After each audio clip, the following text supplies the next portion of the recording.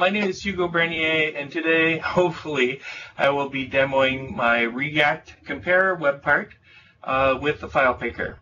Uh, I'm a really friendly guy, so if you have any questions or comments or concerns, uh, do not hesitate to contact me. My Twitter account is, is here, it's BernierH, and my blog is tahoeninjas.blog. Uh, um, so I was just working on um, a control that I needed.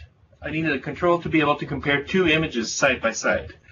And I'm the world's laziest developer, so I, I, if I can avoid writing code, I will avoid, I will, I will look for things that I can reuse, things that are available out of the box, and uh, I, I couldn't find anything uh, that I needed. So I, I actually looked at the uh, React um, Office Fabric UI, which had a um, control that allows you to compare things uh, side by side. Um, and they use this in their Fluent uh, site. You know, uh, Office Fabric is going to become uh, Microsoft UI Fabric, and eventually they're going to integrate uh, the Fluent style in their components, which will make the experience of uh, web applications look very, very close to or more in line with the uh, desktop applications. And what I needed was a control that I could use to compare things side by side, just like you can do here. Hopefully you can see I'm moving uh, the, a slider here and I can see the before and after look. And I was, I was um, looking everywhere, couldn't find a control, so I decided, you know what, I'll just build my own control. And as I was building the control, I thought, you know what, it would be really great if I could actually have a button on each side uh, that would allow users to um, select a file uh, from from the SharePoint file picker. So I looked everywhere uh, again for an out-of-the-box uh, SharePoint file picker. I didn't find anything. I looked in the property controls, uh, the uh, the PNP reusable controls. Didn't find anything. I was just wrapping up doing uh, the rich text control for the, uh, the PNP reusable control. Um, I have a uh, demo of it uh, here, and maybe that's something I can demo at another time, but I decided, you know what, I'm going to write my own file picker. So I looked at the uh, file picker that's available in SharePoint. Uh, this is the image web part that's available out of the box in SharePoint. And when you select uh, Add Image, what it actually does, is it pops up this dialog that hopefully all of you have seen before, which shows uh, your recent files, allows you to search, uh, allows you to pick files from a OneDrive, files from your site, allows you to upload uh, files and share from a link. So I decided, you know, I'm going to create this control, um, and the goal was to create a control that would be easy to add to um, your, anyone's application that would uh, that would not require special permissions or anything like that. And I wanted the control to look as much as possible uh, exactly like the file picker control. So this is uh, this is the web part that I created. Uh, it's called the compare web part. Uh, and when you add it, it asks you to add um, images if you click on uh, add images and click on choose image, this control here is actually uh, my custom control. So it allows me to look at my recent images. It allows me to search. It allows me to pick documents from OneDrive and so on and so forth. So let me actually pick uh, documents uh, just to show. Um, so I'll go in my sample pictures here and I'll pick a before image and then I'll go to my other file picker and I will pick an after image. Oops, after. And now what I should have is something that, well, it doesn't look very, uh, doesn't seem to be a, a good example here, but um, you can see that the idea here is I can pick images and put them side by side. Uh, so how did I do this? Uh, what I did is I actually went through the file picker that was available out of the box, and then I used the uh, the developer tools to actually start exploring what each component was. So I clicked on, you know, the uh, the navigation in the left, and I actually looked at, okay, well, it's got uh, the classes here. Um, for example, I was just using an example here. So I saw here there's this this class called MS Nav Group, and you know, as a general rule, anything that starts with MS dash is probably coming from Microsoft. Um, so I actually figured, okay, so this is a Microsoft control, the MS-Nav group. I actually went to the uh, Office UI Fabric uh, repository. Uh, if uh, if you haven't used that, it's actually a great uh, source to learn. It's actually GitHub, Office Dev, and uh, under GitHub Office Dev, you have the Office UI Fabric React. And if once you're in there, you search for ms dash, uh, what did I say? ms dash nav group. So ms dash nav group. You find, yeah, this class is actually used somewhere in the code. And uh, so I was able to actually find uh, the controls that were used uh, by going kind of one one component at a time. Uh, for example, I went to this here. I found that this is using something called an item tile. Uh, so I looked uh, and found item tile. Uh, it turns out, by the way, that in uh, the Office UI uh, fabric item tile, you have kind of a something called an item tile and a tile list. those are controls that are in Office UI fabric. Unfortunately, they're still in the experiments package. So it's not quite supported yet. You're not quite supposed to use it in production. So uh, I had to actually rewrite uh, my version of those controls when I did that. Uh, but I basically I went through one control at a time and copied the styles, the look, and the feel, um, and uh, rebuilt this whole thing. The other thing that I did, uh, and uh, Anjani had a question in the in the uh, in the chat window here. How do uh, what's an example of getting the most recently used files? Well, if you look at the recent tab in the the file picker, you'll actually find that this is what it's doing. It's actually going to your, in this case, the most recently uh, used images. But if you look at your uh, network um, in your developer tools, and you actually monitor the traffic, uh, you'll notice that as you click, you will actually see different calls being made. Now, there's tons of calls being made, um, you know, to to uh, I know some. It's probably some telemetrics or things like that. But eventually, you will find, and I'm not going to be able to to find it in in this presentation today, but you'll find the actual code that gets made when uh, SharePoint uh, does the search for recent or a web search or something like that.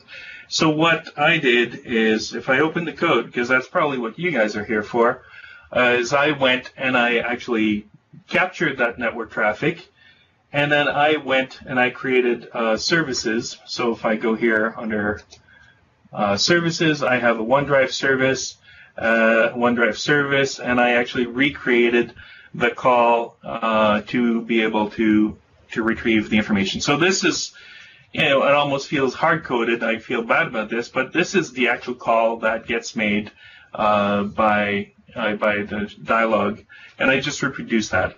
You'll notice here that I'm actually using, uh, in the case of going to my OneDrive, I'm using SP Remote Web uh, to allow me to make uh, HTTP calls to another URL, uh, in, in, this case my OneDrive. Um, that's something that I was not able to do using the PNP uh, JS um, package. Um, I actually opened an issue with that to be able to add support for remote web uh, calls. Uh, so I had to actually hardcode the, not hardcode, but I had to create the, the fetch call myself without using PNP.js. But if you look um, quickly, and I'm trying, I'm really trying hard not to click around too much because I know it can get really hard to read. Uh, but if you look in my web part component, um, I have now a new property control called property pane file picker. And it allows me to, you know, to uh, do things, for example, what type of images am I going to be expecting? When I built this control, I built it to support uh, both uh, images and documents, but I only tested it for images. That was my, my primary goal. And I have the ability to control whether I want to be able to do things like searching and things like that. Uh, behind the scene, the control is implemented as a bunch of tabs. Um, the one thing I want to make clear, when I built this, uh, you'll notice the out-of-the-box uh, picker has a few inconsistencies. Uh, it's it seems like, and it's probably Vesa and, and, company can probably tell me whether that's the case or not, but it really feels like each tab was built by a different team, and as a result, there's there's minor discrepancies in the HTML behind the scene. Uh, for example, if you look at the site, you have document libraries, you don't have a way to change views, but if you look at the OneDrive, you have the ability to change views and you have uh, a file count inside the folders. Um, as tempting as it was for me to try to fix those discrepancies when I when I wrote this component, I made sure to to reproduce as much as possible the components exactly as they were, with the in inconsistencies, uh, with the uh, you know the little things that were kind of driving me nuts because I wanted everything to be perfect. Um, and that's something when you're looking at the code and you're you're looking at this and you're saying, well, why didn't Hugo optimize this by reusing this component or by reusing this class? That's why I did it this way. Um, and I've always been taught that uh, you know uh, optimization is enemy of the enemy of innovation. So my first focus was to make sure that I got this out there. There's going to be opportunities to improve this, hopefully, as we go further. Uh, so uh, for Anjani, for example, Anjani wanted to know how do I get the Recent Files tab. Uh, this is actually the call that uh, gets made.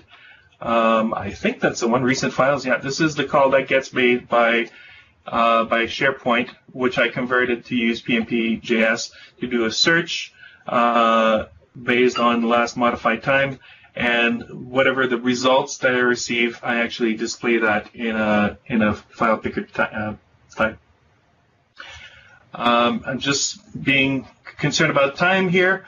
Um, one thing that I wanted to point out, and I actually wrote this in the instructions to install this web part, uh, is the the search component, the web search component. If I actually go show it to you for a second, uh, the web search. Hold on.